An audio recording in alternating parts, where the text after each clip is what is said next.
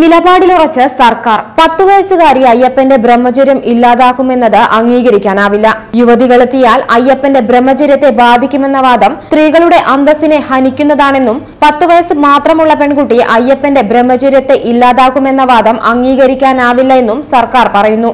സുപ്രീംകോടതിയിൽ സമർപ്പിക്കപ്പെട്ട പുനഃപരിശോധനാ ഹർജികളിൽ എഴുതി നൽകിയിരിക്കുന്ന വാദത്തിലാണ് സർക്കാർ നിലപാട് വ്യക്തമാക്കിയത്. ബുധനാഴ്ചയാണ് സർക്കാർ വാദം എഴുതി നൽകിയത്. യുവതികളെത്തുന്നത് അയ്യപ്പന്റെ ബ്രഹ്മചര്യത്തെ ബാധിക്കുമെന്ന വാദം സ്ത്രീകളുടെ അന്തസ്സിനെ ഹനിക്കുന്നതാണെന്നും പത്ത് വയസ്സ് മാത്രമുള്ള പെൺകുട്ടി അയ്യപ്പന്റെ ബ്രഹ്മചര്യത്തെ ഇല്ലാതാക്കുമെന്ന വാദം അംഗീകരിക്കാനാവില്ലെന്നും സർക്കാർ പറയുന്നു. ഇതോടെ രണ്ടായിരത്തി പതിനേഴ് വരെ മുപ്പത്തഞ്ച് വയസ്സ് കഴിഞ്ഞ യുവതികൾക്കും തിരുവിതാംകൂർ ദേവസ്വം ബോർഡ് അംഗമാകാമായിരുന്നു നിയമം. രണ്ടായിരത്തി ഏഴിലാണ് അറുപത് വയസ്സായി ഉയർത്തിയതെന്നും സർക്കാരിന്റെ വാദത്തിലുണ്ട്. മുപ്പത്തിയഞ്ച് വയസ്സുള്ള യുവതിക്ക് തിരുവിതാംകൂർ ദേവസ്വം ബോർഡ് അംഗം ആകാമെങ്കിൽ ശബരിമലയിൽ പ്രവേശിക്കുകയും ചെയ്യാമെന്ന് സർക്കാർ പറയുന്നു.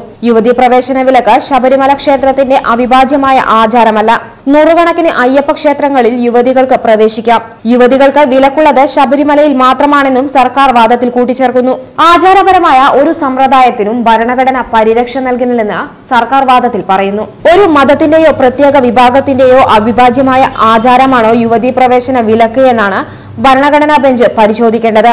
ശബരിമലയിലെ യുവതീ പ്രവേശന വിലക്ക് ആചാരപരമായ സമ്പ്രദായമാണെന്ന അഭിഭാഷകൻ വെങ്കിട്ടരാമന്റെ വാദം തെറ്റെന്നും വാദത്തിലുണ്ട്.